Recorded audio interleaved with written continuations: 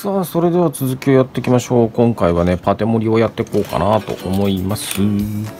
で使うのはねこちらですね。あのー、えー、っとね高速効果タイプっていうのが割と使いやすいんですよ。あのもう一個水色のやつで高密度っていうやつがあるんですけどあれ名前の通り高密度でいいような感じがするんですけど、まあ、私がね使った感想なんですけどあれね硬いのよ。固まった後が。あー身が詰まってるぜみたいな。じゃあ超あね高速化高高効果ん？速効果タイプ？でいいのかな？速効果タイプの方がじゃあ何結構スカスカなんじゃないの？っていう風にイメージされるかもしれないですけど実際のところはいや別にそんな変わりはない。だけどガッチガチに固めたいなっていう人の場合は向こうの高密度タイプの方がいいんですけどあとのね始末がねしづらいんですよ。まあどっちを選ぶかって感じですけど私はねこっちのあの水色の方ですね。高密度でない方を選んでやってます。こっちの方が私は好き。どっちがいいって感じですけどね。だけど実際に使った感じで言うとこっちの方が扱いやすいかなって思う。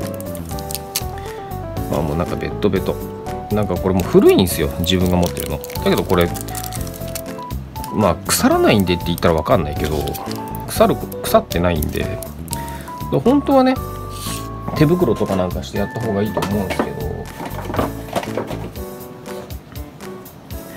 今までの経験上手袋でやると大変なんですよ。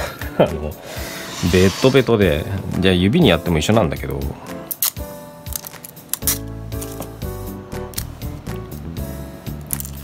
っしゃ。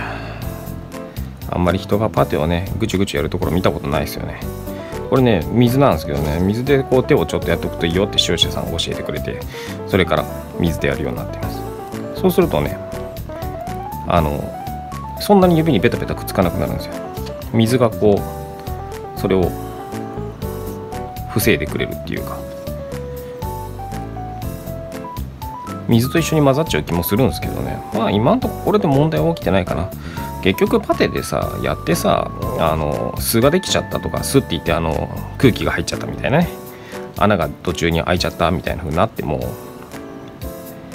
そこまたね別の方法で埋めればいいことだしまずはね形を作るっていうことを優先にでこれね2色混ぜ2色っていうかあの2つ取材硬化剤みたいな感じじゃないのかな？よくわかんないけど。知らんけど。混ぜあのこうやってねしっかり混ぜ合わせないとね良くないんでね。色が片方に寄っちゃってるようなところっていうのは固まって固まらなくなっちゃうからね。混ざって固まるって感じだから。だからこうやって今何回も折って混ぜて。折って混ぜて。製鉄みたいだね。あの日本刀とかさたたら製鉄とか知ってる？たたら製鉄長野の方にある この話長くなるかあやふやか分かんないからやめよう。たたら製鉄っていうのがあってね。鉄をさあの作ってそれでこう固めるみたいなねやつでこうやって折り曲げて折り曲げて混ぜて、ま、折り曲げて純度を上げるみたいなこと言ってるんだけどあれ最近の科学的調査によるとあれらしいよ。あれ意味がないらしいね、折り曲げてこういうふうにやることによって鉄の純度が上がるとか高度が上がるとかすごい丈夫い鉄ができるとかあれ嘘らしい。科学的に言うとねらしいよ。本当に知らんけど。あのこの前なんかねそういうのたまたま知ってあれは意味がないんですって言って。あそうなんだみたいな。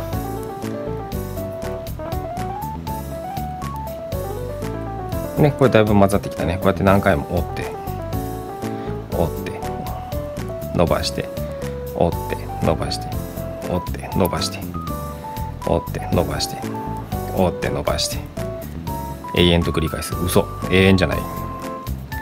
でこうなりましたと。ちょっとこれ多いんですけどね。もうちょっとあとちょっとしかなかったから使い切りたいなと思って。もう一個予備で買ってあるからさ、ね、見ての通りこんな色じゃないよ箱も。もうちょっと濃い色だよ。これもう日焼けしまくってんだよね。もうそのぐらい古いんだ。ずーっと取っといた。使い道がなくて。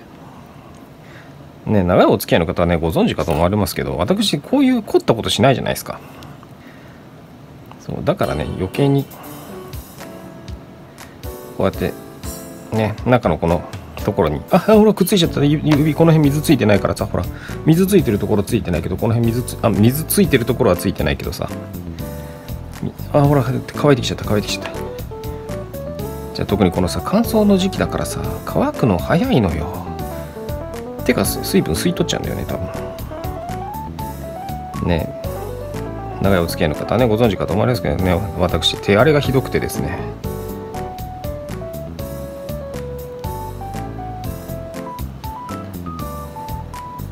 あの変なところで潔癖だったりしてすぐ手洗うんですよ。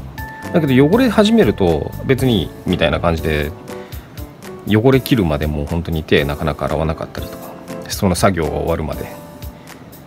変な感じでね。よしこうやって。どんどんどんどんこうやって。しっかり密着させてあげる。できるだけねそのさっき言ってた素ができないようにね。で足りない部分は足りない部分でねあの効果促進えっとイージーサンディングとかあったりするからそういうのをねうまく使っていけばねいいんでね。めんどくさいかもしれないですけどあとあとちょっとなねご存知の方多いと思うんですけどね私こういうことしないから鍋さんほんと下手くそだなみたいなところがねちょっと多いと思うんでちょっとその辺はね温かい目で見ていただけたらなと思います。ちょっとこっち盛りすぎた気がする。けどまあ後で削りゃいいやって。ただその後で削ればいいやがね盛りすぎてめんどくさかったりすることあるんですよ。めんどくさくなってしまうっていうことがね。よしこれでいいかな。ちょっとこっち足りないかな。ちょっと妖精って。こんなにモリモリに盛る必要はないんだよな。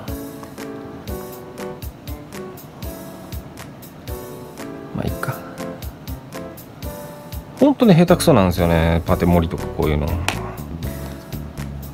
でこんなにいらなかったっしょ。でこうね固まり始めちゃうからこうやってねすぐにまたこう練ってあげるとこの効果がまたほぐれるからまたこう混ぜてあげてね。それからまた持ってあげましょ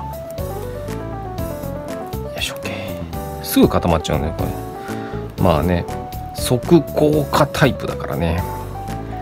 でちょっとこうねちねってピッと。でここね。こうやって。こうやって。であんまりやりすぎるとまためんどくさいよというふうになるんですけど。足りないことを思えばいいかなとも思っちゃったりねそれがドツボにはまることだったりとかね。珍しいよね鍋さんこんなことやるのね。ほんとね嫌いなんですよこういうの。嫌いじゃない。苦手。苦手だから嫌い。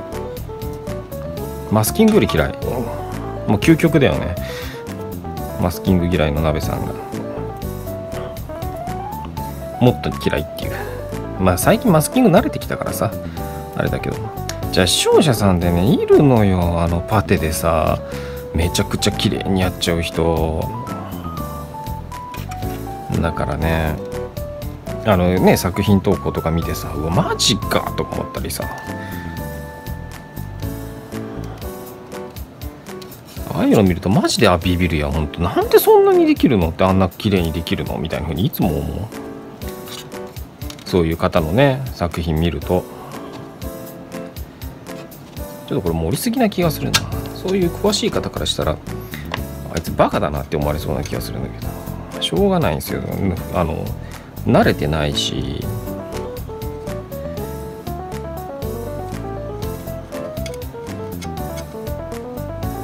こんなんでいいかな。ちょっと鍋さんって言われそうだけどね。勘弁してください。まあここはいいか。別に。まあこんなとこだね。以上。おい時間めっちゃ余っちゃった。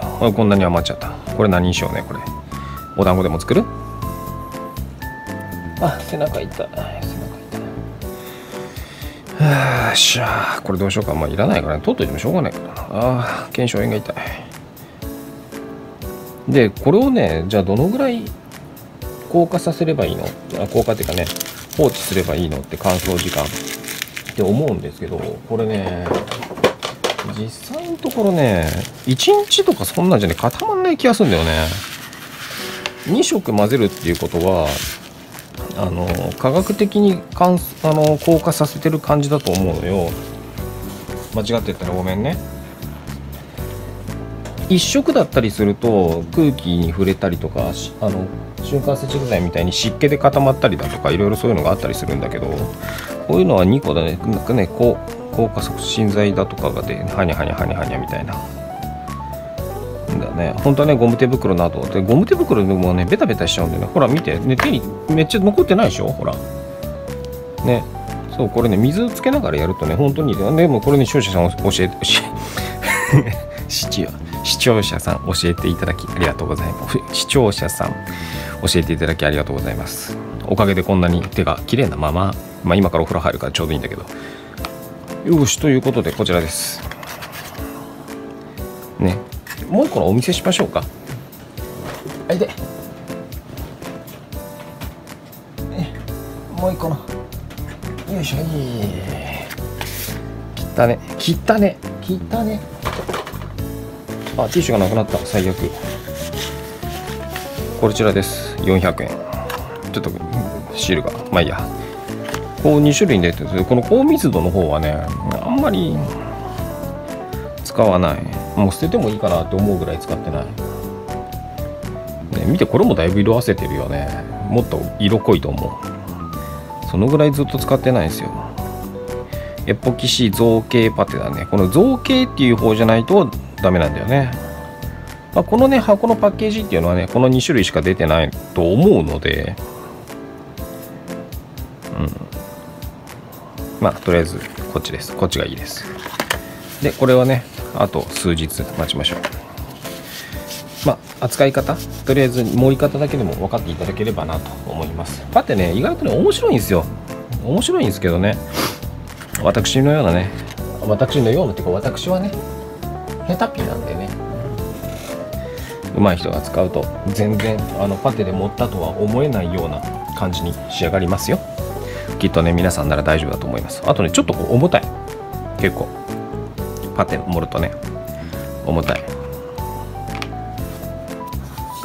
ねこれでさなんかさ 3D プリンターとかで作りました？みたいな風になったらさやらしいじゃない？いや持ってねえしみたいなさ。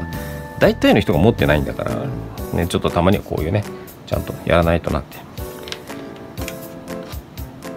ねほら。もうこれでもうだいぶ固まり始めてる。ちょっとこうね表面さっきペタペタしてたけどこうツルツルなわけですよこういう。ねいい感じ。表面的にはもうだいぶ固まってきた。あだけどぐねぐねあやわらけやらけでまだこのねちょっとこの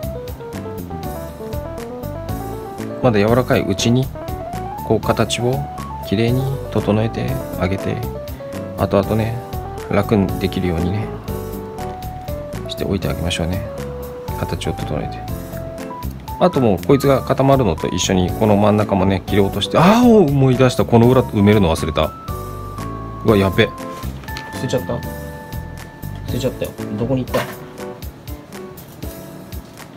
捨てちゃったよそう今思い出した今思い出した今思い出したこの裏裏を埋めなきゃ裏ゴン箱からあさってきたゴン箱からあさってきたいやいやいやいやいやいややべやべやべやべやべやべょちょちょちょちょちょちょ。やべしかもティッシュなくなったっつったしさっき俺。そうそうそう。この裏を埋めるの忘れてた。裏裏。ここここ。ここを埋めなきゃ。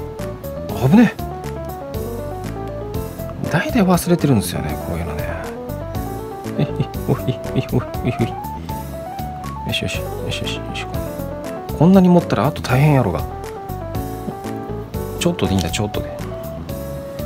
そうこの裏多分形整えたらさ破れちゃってさえらいことになるからさこうやってギュッてこう詰めてギュッてギュッてギュッてギュッて奥に行くようにギュッて。あこれでいいでしょ多分。OK うわ危ねえ。忘れてたということで、ああちょっとここへこんだ。よし。